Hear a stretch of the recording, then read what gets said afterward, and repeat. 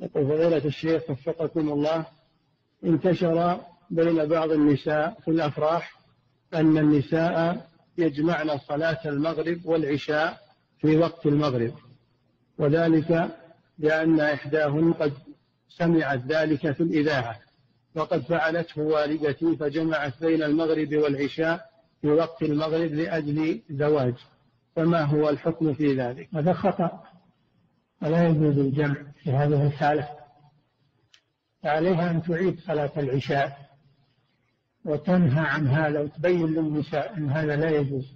نعم.